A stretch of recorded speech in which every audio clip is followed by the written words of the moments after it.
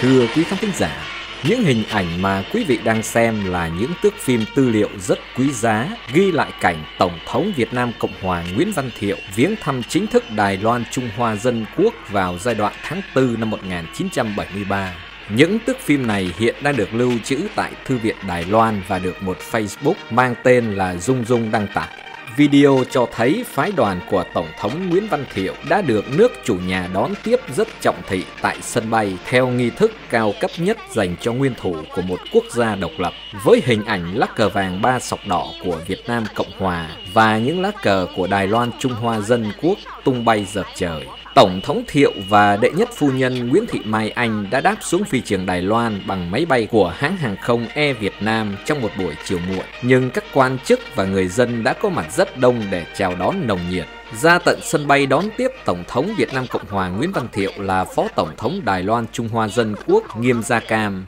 Đây cũng là chuyến thăm chính thức lần hai của Tổng thống Thiệu đến Đài Loan. Lần đầu là vào ngày 30 tháng 5 năm 1969, Tổng thống Việt Nam Cộng Hòa khi đó đã được Tổng thống Tưởng Giới Thạch ra tận sân bay đón tiếp theo nghi thức cao cấp nhất dành cho một vị nguyên thủ của một quốc gia đồng minh.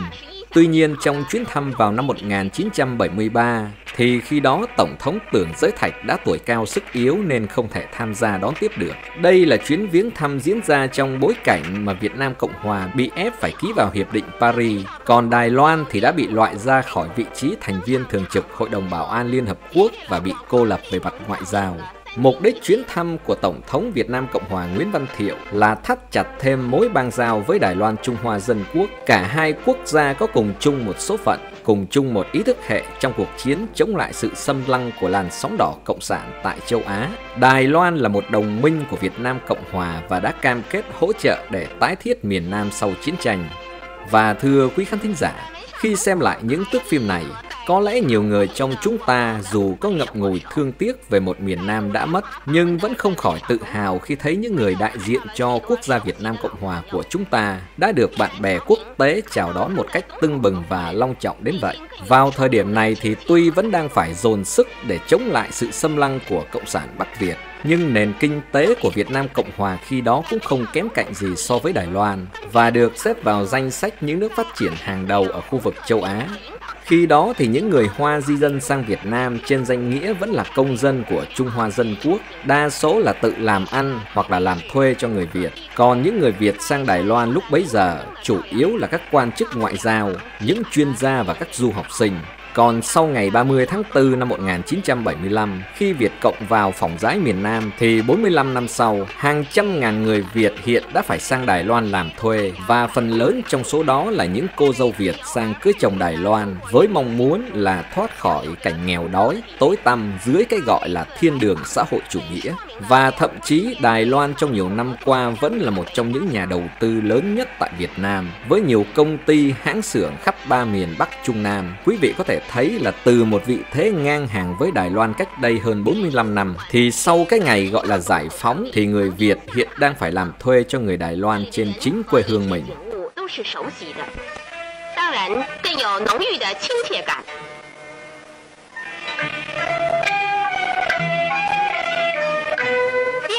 上午，阮文绍总统分别在圆山行馆接见严副总统和行政院长蒋经国。就亚洲和世界情势以及中越两国共同利益问题，恳切地交换意见。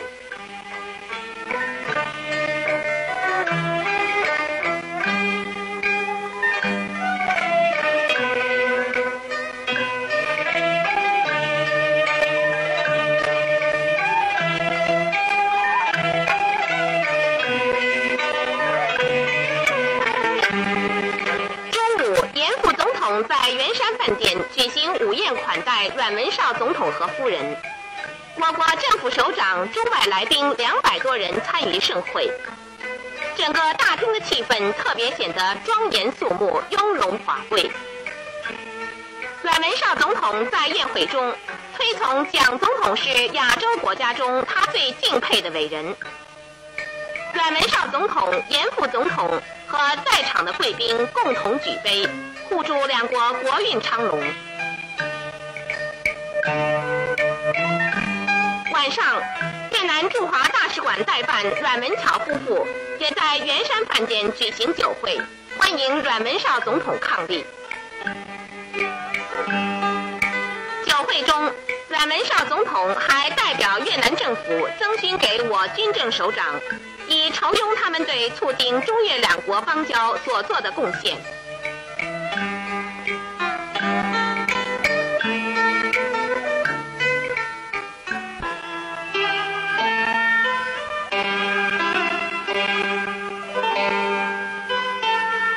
少总统对中国悠久深厚的历史文化至为倾慕。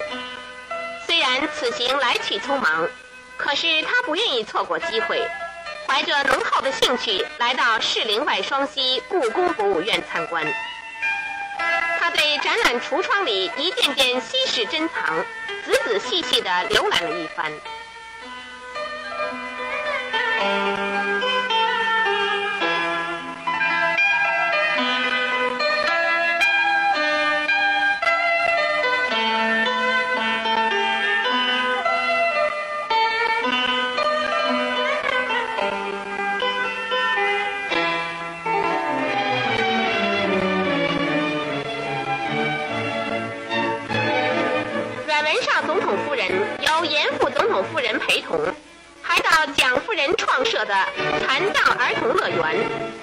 振兴复健医学中心参观。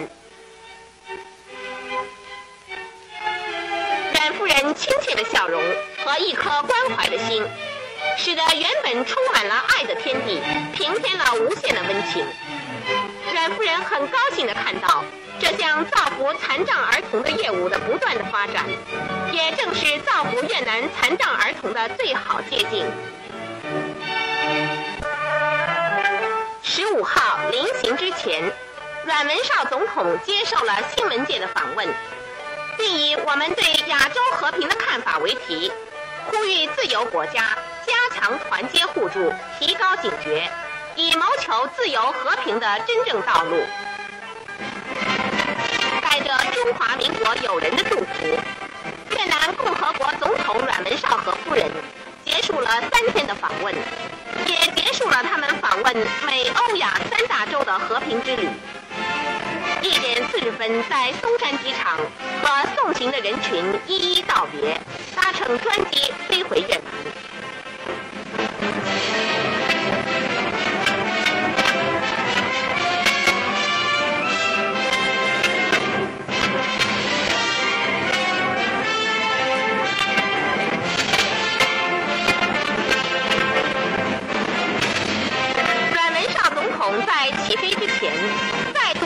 院长殷殷话别，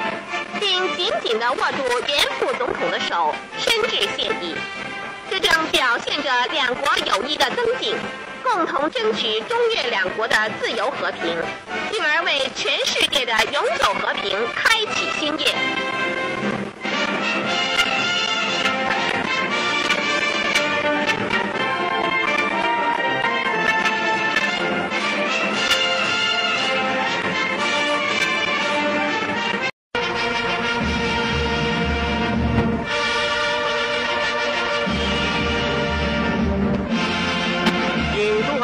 政府邀请，做五天正式访问的越南共和国阮文绍总统伉俪，五月三十一号展开了一连串的活动。阮文绍总统由中华民国严家淦副总统及参谋总长高奎元上将陪同，于上午九点前往圆山忠烈祠，致祭革命先烈及阵亡将士英灵。在安息号声中，阮文绍总统献上花圈，肃立行礼。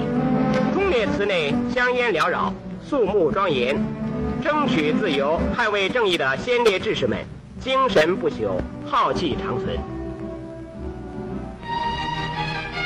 当天上午，阮文绍总统最重要的一项活动是拜会蒋总统，就世界和平、亚洲安全以及越南局势等问题举行一次历史性会谈。中越两国元首都认为，亚洲国家应加强团结，增进合作，以对抗共党的侵略。同时，这两位坚强的反共领袖，并同意中越两国今后要在各方面更进一步加强合作，为两国的共同理想而努力奋斗。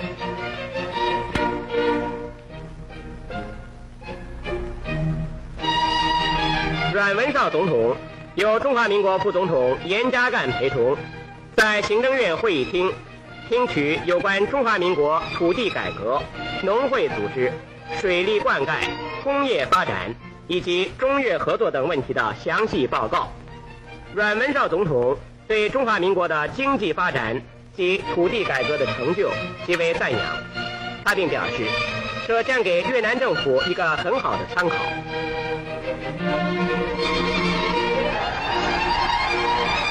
下午四点三十分，阮文绍总统前往行政院国军退出与官兵辅导会访问。阮文绍总统亲切地向伫立在附近欢迎的民众挥手致意。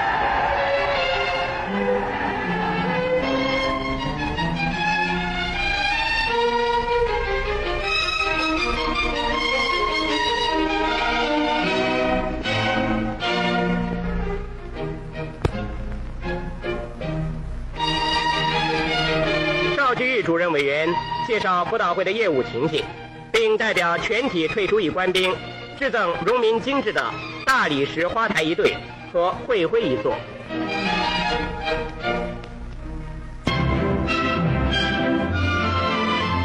阮文绍总统伉俪，曾在行馆接见旅华越侨代表，并殷殷垂询他们的生活和就学情境。越侨代表保证。促进中越友谊，做好国民外交。他们并以阮文绍总统全家福的油画一幅，呈现给阮文绍总统夫妇。这是一个甜蜜的家庭。阮夫人不仅是一位娴熟的家庭主妇，更是一位伟大的社会福利工作者。阮夫人在严复总统夫人陪同下参观华清育幼院，院长江学珠。并为阮夫人配上高雅的美铃兰。Thưa quý khán thính giả, những hình ảnh mà quý vị đang xem là những thước phim tư liệu rất quý giá ghi lại cảnh Tổng thống Việt Nam Cộng hòa Nguyễn Văn Thiệu viếng thăm chính thức Đài Loan Trung Hoa Dân Quốc vào giai đoạn tháng 4 năm 1973. Những thước phim này hiện đang được lưu trữ tại Thư viện Đài Loan và được một Facebook mang tên là Dung Dung đăng tải. Video cho thấy phái đoàn của Tổng thống Nguyễn Văn Thiệu đã được nước chủ nhà đón tiếp rất trọng thị tại sân bay theo nghi thức cao cấp nhất dành cho nguyên thủ của một quốc gia độc lập, với hình ảnh lá cờ vàng ba sọc đỏ của Việt Nam Cộng Hòa và những lá cờ của Đài Loan Trung Hoa Dân Quốc tung bay dập trời. Tổng thống Thiệu và đệ nhất phu nhân Nguyễn Thị Mai Anh đã đáp xuống phi trường Đài Loan bằng máy bay của hãng hàng không Air Việt Nam trong một buổi chiều muộn. Nhưng các quan chức và người dân đã có mặt rất đông để chào đón nồng nhiệt. Ra tận sân bay đón tiếp Tổng thống Việt Nam Cộng hòa Nguyễn Văn Thiệu là Phó Tổng thống Đài Loan Trung Hoa Dân Quốc Nghiêm Gia Cam. Đây cũng là chuyến thăm chính thức lần hai của Tổng thống Thiệu đến Đài Loan. Lần đầu là vào ngày 30 tháng 5 năm 1969, Tổng thống Việt Nam Cộng Hòa khi đó đã được Tổng thống Tưởng Giới Thạch ra tận sân bay đón tiếp theo nghi thức cao cấp nhất dành cho một vị nguyên thủ của một quốc gia đồng minh. Tuy nhiên trong chuyến thăm vào năm 1973, thì khi đó Tổng thống Tưởng Giới Thạch đã tuổi cao sức yếu nên không thể tham gia đón tiếp được. Đây là chuyến viếng thăm diễn ra trong bối cảnh mà Việt Nam Cộng Hòa bị ép phải ký vào Hiệp định Paris, còn Đài Loan thì đã bị loại ra khỏi vị trí thành viên thường trực Hội đồng Bảo an Liên Hợp Quốc và bị cô lập về mặt ngoại giao. Mục đích chuyến thăm của Tổng thống Việt Nam Cộng hòa Nguyễn Văn Thiệu là thắt chặt thêm mối bang giao với Đài Loan Trung Hoa Dân Quốc. Cả hai quốc gia có cùng chung một số phận, cùng chung một ý thức hệ trong cuộc chiến chống lại sự xâm lăng của làn sóng đỏ cộng sản tại châu Á. Đài Loan là một đồng minh của Việt Nam Cộng hòa và đã cam kết hỗ trợ để tái thiết miền Nam sau chiến tranh.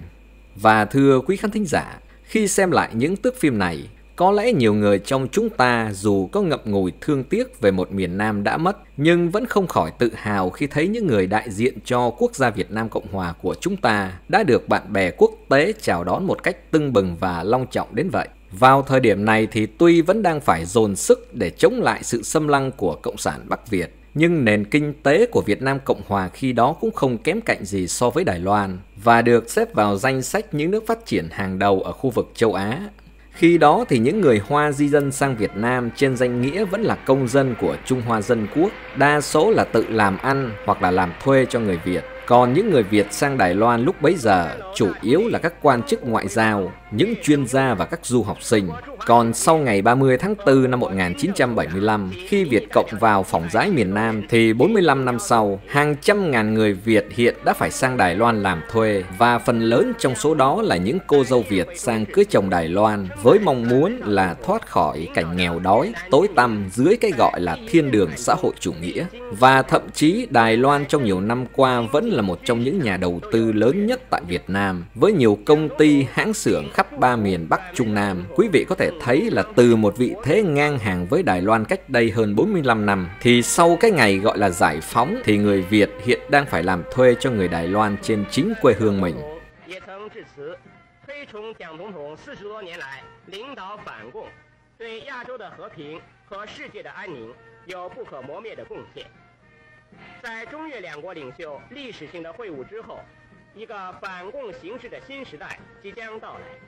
反共胜利的新契机即将出现。